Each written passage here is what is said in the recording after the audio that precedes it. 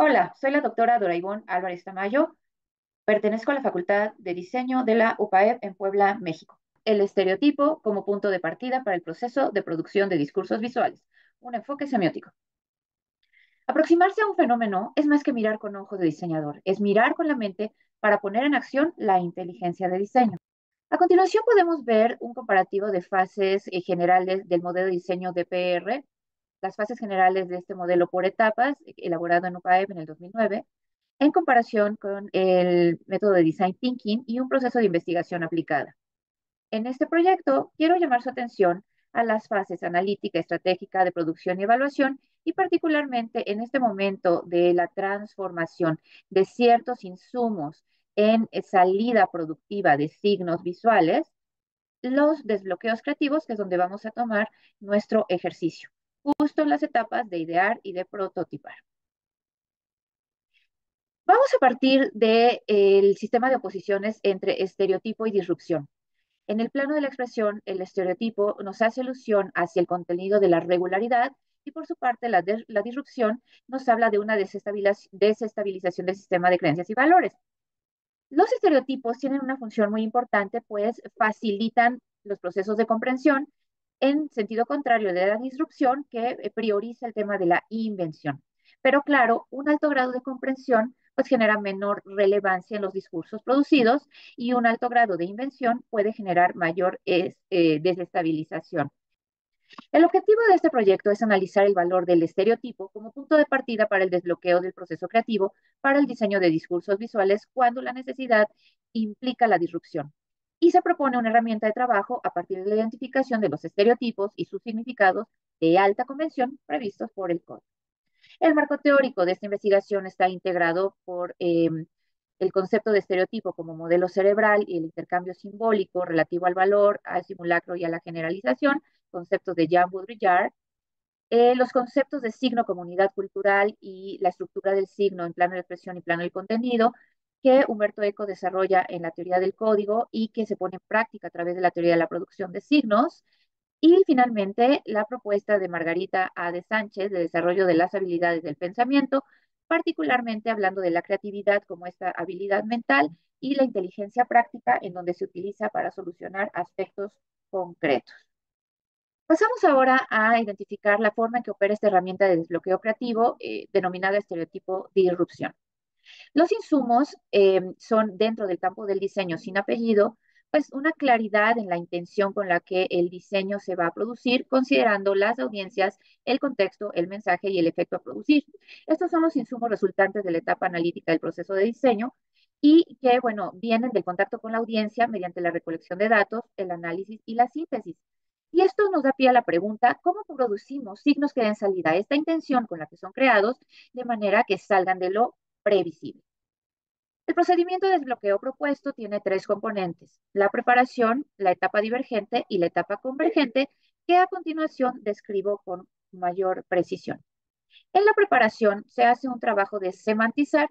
En esta lo que hacemos es detectar las palabras clave junto con sus conceptos construidos en el árbol de plano de la expresión y plano del contenido componencial y se hace una revisión del material analizado previamente al estar en contacto con la audiencia se identifican los estereotipos alojados en el sistema de creencias, se hace una descripción del estereotipo usando la estructura del signo, considerando qué es, qué hace, cómo funciona, qué rasgos o cualidades tiene y en qué ámbitos operan típicamente. Se hace una exploración visual o estado del arte para localizar paradigmas y para ello se puede utilizar la integración de, mod, eh, moodboards o de referencias. Con esta preparación damos paso entonces a la etapa divergente, en donde lo primero que se hace es dar salida a las primeras ideas del diseñador para que se localicen los estereotipos instaurados en él. Esto es un ejercicio de, metacognición y de autorreconocimiento. Se da paso a la semantización usando dos estrategias, la esquemática, trabajando con tablas, y la gráfica a través del bocetaje. Por supuesto hay quienes encuentran mayor facilidad en una forma u otra.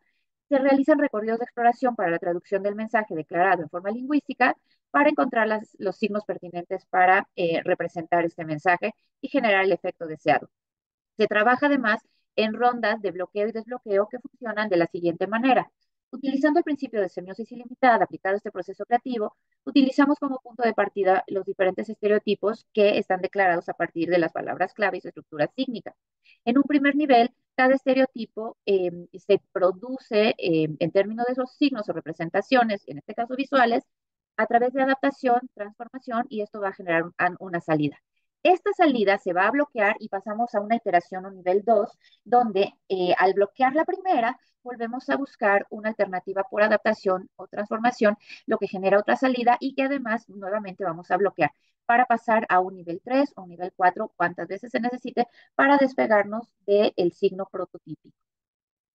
En una etapa convergente, lo que hacemos después de tener un ejercicio amplio de exploración es someter a juicio las alternativas de acuerdo con la pertinencia de la disrupción y para esto usamos una escala eh, creada a partir de sistemas de oposiciones donde tenemos por un lado los contenidos altamente prototípicos contra los altamente disruptivos, tomamos en cuenta la funcionalidad, la intención y el efecto.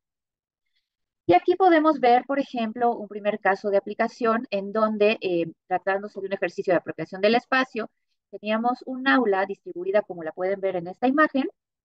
Eh, se les pidió a los estudiantes en una primera iteración hacer una propuesta disruptiva de ubicación de los componentes dentro del espacio pero eh, se les pide que hagan una nueva iteración ahora sopesando el tema de la funcionalidad y entonces hacen un, modelo mucho más integrado de los componentes. Un siguiente caso de aplicación es un ejercicio que se hace a partir del signo de la Llorona, una leyenda muy conocida en México y que se ha distribuido en diferentes versiones a través de todo el país. Se obtiene entonces la descripción del plano de la expresión, la llorona, de manera lingüística, y el plano del contenido. Esta es la primera representación en la que salen los prototipos. Una mujer de cabello muy largo, vestido largo y blanco, con una expresión de mucho dolor, en una segunda iteración se le pidió a los estudiantes que bloquearan ese paradigma para ahora sustituir el plano de la expresión lingüístico por un segundo movimiento, mucho más disruptivo, en donde podemos ver ya incluso en, la, en el planteamiento estilístico una noción que se despega de los primeros elementos estereotipados. Finalmente, tenemos un caso de aplicación en donde se solicita a los estudiantes, a partir de un modelo de cerámica eh, que se utiliza para los días de muertos, hacer una intervención a partir de diferentes temáticas. Las conclusiones, pues, es que al hacer estos procesos se sugiere mapear y bocetar en grande. Se pueden realizar tantas iteraciones como haga falta para probar la efectividad de la selección y producción de signos. Y en este proyecto, pues, se presentan estos casos prácticos de aplicación de la herramienta como parte de un proceso de trabajo cuya intención puede ser diversa y que va a depender mucho del contexto de aplicación, eh, pero que además tiene capacidad para abonar a la creación de discursos sensoriales o multisensoriales en medios analógicos y digitales